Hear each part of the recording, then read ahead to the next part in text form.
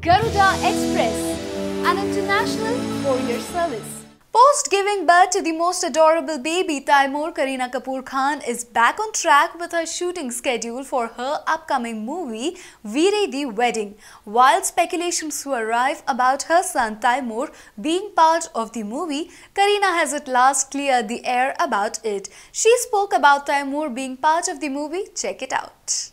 We are super excited for the Wedding because it's finally bringing together the two Kapoors we've been waiting to see share screen space.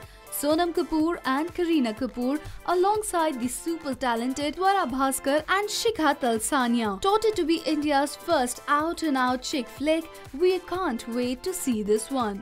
If you're following the film's handle on Instagram, you're probably suffering from some news because it looks like these girls are having a gala time on set.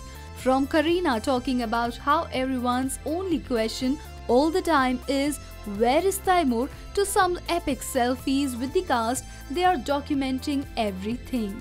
Speaking of Kareena and Taimur, there have been rumors doing around that Taimur will be a part of the film.